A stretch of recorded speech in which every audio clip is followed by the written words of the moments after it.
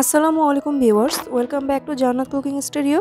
আজকের আয়োজনে তৈরি করে দেখাবো সবে বরাত স্পেশাল বুটের ডালের হালুয়া, সুজির হালুয়া আর বেসনের হালুয়া। আর হালুয়াগুলো আমি খুবই সহজ করে দেখানোর চেষ্টা করেছি। আশা করি এতে করে নতুন রাঁধুনি আপুরা এবং প্রবাসী ভাইয়েদের জন্য খুবই হেল্পফুল হবে। তাহলে চলুন আর কথা না বাড়িয়ে রেসিপিগুলো ঝটপট দেখে নেওয়া যাক।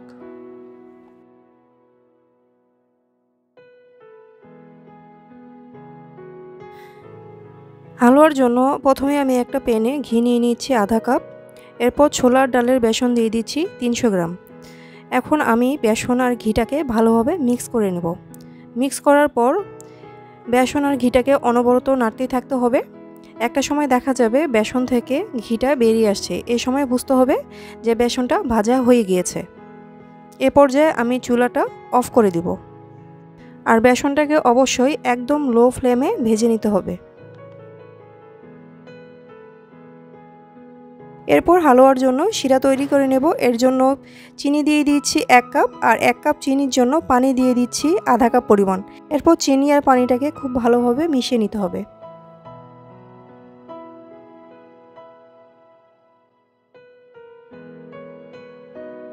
পানিটা ফুটতে শুরু করলে দারুচিনির গুঁড়া দিয়ে দিচ্ছি আধা চা চামচ এবং এলাচের গুঁড়া দিয়ে দিচ্ছি আধা চা চামচ পরিমাণ। এরপর এগুলোকে খুব ভালোভাবে নেড়ে চেড়ে মিক্স করে নিতে হবে। আর শিরাটাতে বলক চলে আসার পর দুই তিন মিনিট জাল করার পরে চুলাটাকে অফ করে নামিয়ে নিতে হবে।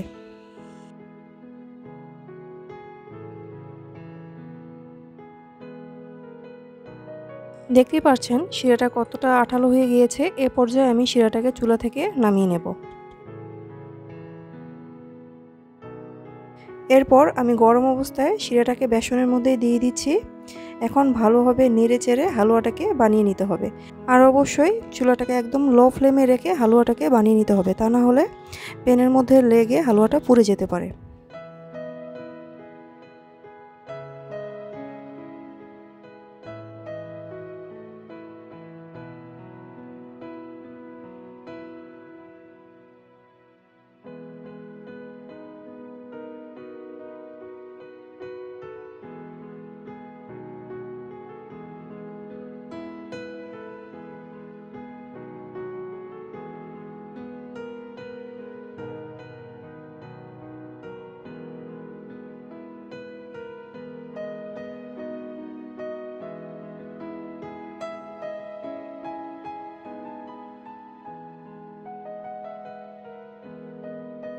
এরপর হালুয়াটা যখন এমন আঠালো হয়ে আসবে, তখন আমি চুলাটাকে অফ করে একটা সার্ভিং ট্রেতে করে হালুয়াটাকে সার্ভ করে নেব।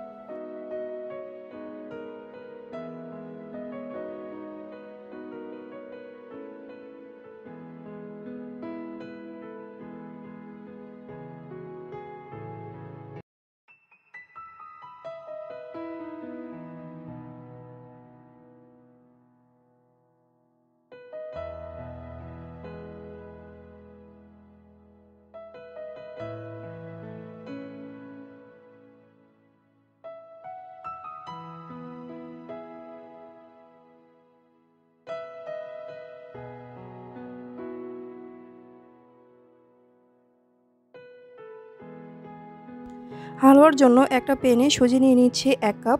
এরপর সুজিটাকে একদম লো ফ্লেমে লাল করে ভেজে নিতে হবে।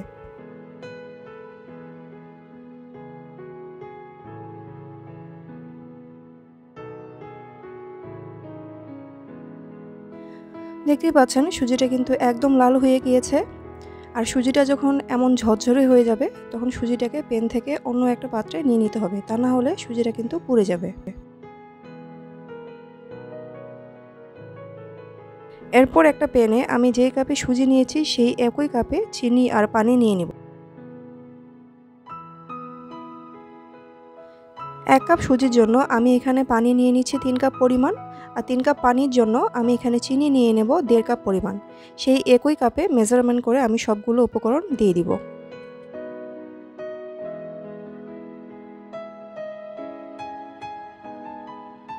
এরপর অরেঞ্জ ফ্রুট কালার দিয়ে দিচ্ছি দুই ফোঁটা।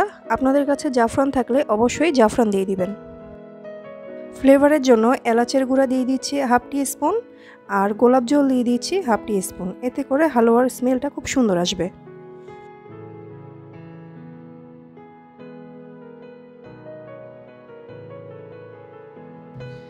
এরপর নেড়ে চেড়ে ভালো করে চিনিগুলো মিশিয়ে একটা চিনির শিরা তৈরি করে নিব। খুব বেশি ঘন করা দরকার নেই জাস্ট একটা বলক চলে গেলেই এক মিনিটের মতো জাল করে চুলা থেকে নামিয়ে নিতে হবে।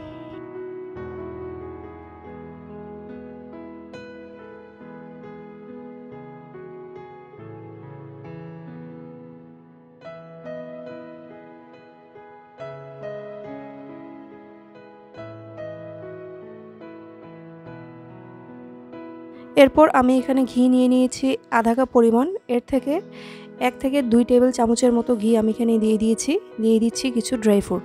আমি এখানে কিছু কিশমিশ কাজু বাদাম আর কাঠবাদাম নিয়ে নিয়েছি। আপনারা আপনাদের পছন্দ মতো ড্রাই ফ্রুট দিয়ে দিতে পারেন। এরপর এটাকে কিছুক্ষণ ভেজে নিতে হবে। ড্রাই ফ্রুটগুলো ভাজা হয়ে গেলে আমি পেন থেকে এগুলোকে তুলে নিচ্ছি।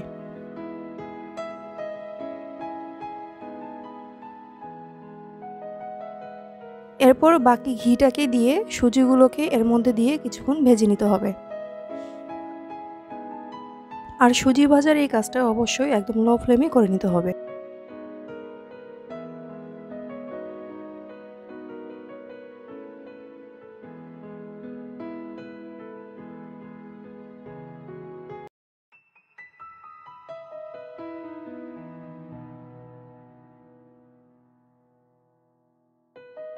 সুজিটা ভাজা হয়ে গেলে আমি এখানে আগে থেকেই বানিয়ে রাখা চিনি শিরাটা দিয়ে দিচ্ছি।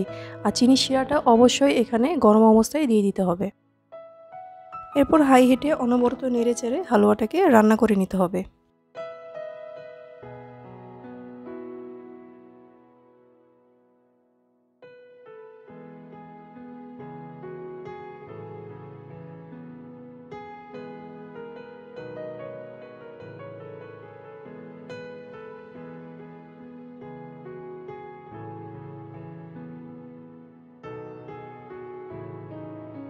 হালুয়ার কনসিস্টেন্সি এ পর্যায়ে চলে এলে আমি চুলাটাকে অফ করে দেব, কেননা হালুয়াটা ঠান্ডা হওয়ার পরে আরও একটু ঘন হয়ে যাবে।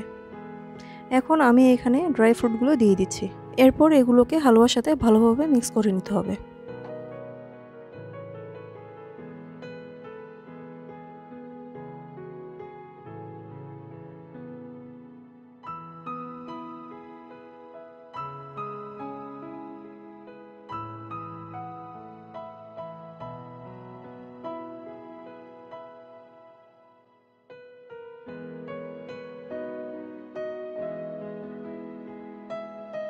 দেখতেই পাচ্ছেন হালুয়াটা কত সুন্দর দানাদার হয়েছে। এটা দেখতে যতটা না সুন্দর হয়েছে, খেতে তার থেকেও বেশি মজা ছিল। আপনারা অবশ্যই বাসায় ট্রাই করবেন আর ট্রাই করলে অবশ্যই আমাকে জানাবেন আপনাদের কেমন লাগল।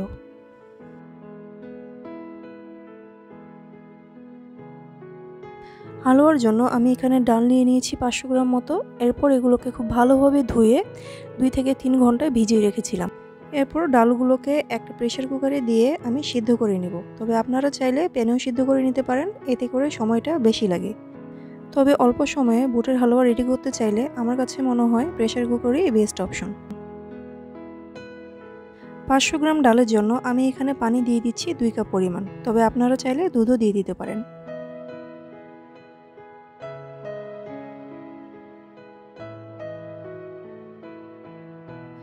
এরপর প্রেশার কুকারটাকে ভালোভাবে সেট করে চুলায় দিয়ে মিডিয়াম হিটে জাল করে দুইটা সিটি দিলেই প্রেশার কুকারটাকে চুলা থেকে নামিয়ে নেব।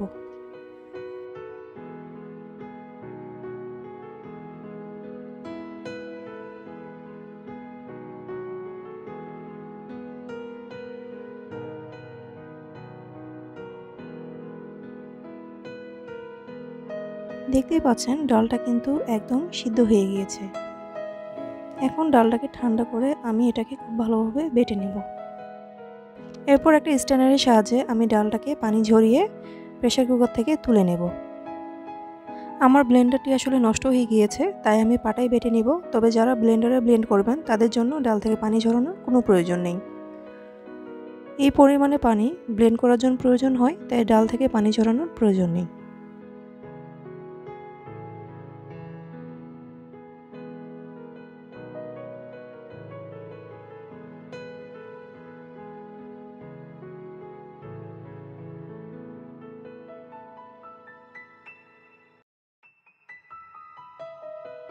এরপর একটা প্যানে ঘি নিয়ে নিয়েছি ওয়ান থার্ড কাপ পরিমাণ। তবে চাইলে অর্ধেক ঘি, অর্ধেক তেলও নেওয়া যেতে পারে। ঘিটা গরম হয়ে এলে আমি এখানে দুটো তেজপাতা দিয়ে দিচ্ছি। এরপর এটাকে ভেজে নেব, সুন্দর একটা স্মেল বের না হয়ে আসা পর্যন্ত। এ পর্যায়ে আমি এখানে বেটে রাখা ডালটাকে দিয়ে দিচ্ছি। এরপর ডাল আর ঘিটাকে খুব ভালোভাবে মিক্স করে নেব।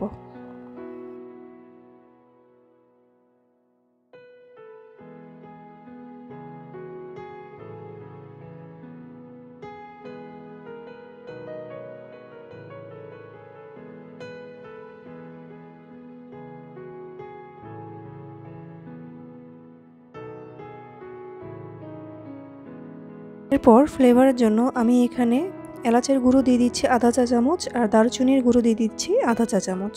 এরপর এগুলোকে হালুয়ার সাথে খুব ভালোভাবে মিক্স করে নিতে হবে। তবে আপনাদের কাছে যদি দারচিনির গুঁড়ো না থাকে, আপনারা গোটা দারচিনিও ব্যবহার করতে পারেন।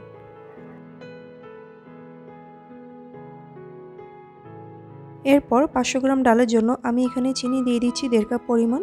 তবে যার যার স্বাদ অনুযায়ী মিষ্টিটাকে কম বেশি করেও দেওয়া যেতে পারে। এরপর চিনিটাকে হালুয়ার সাথে খুব ভালোভাবে মেল্ট করে নিতে হবে।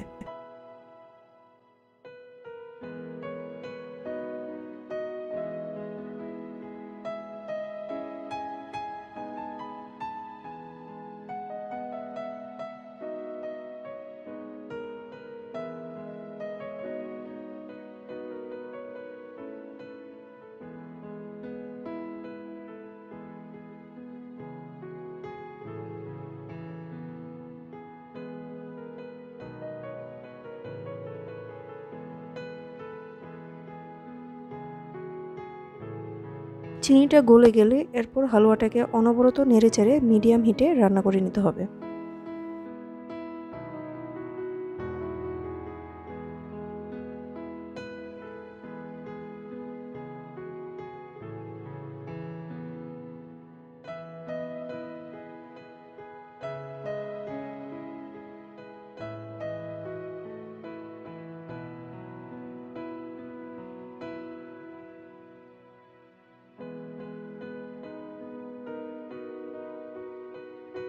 দেখতেই পাচ্ছেন, হালুয়াটা কিন্তু পেন থেকে আলাদা হয়ে গিয়েছে আর পেনে লেগে যাচ্ছে না।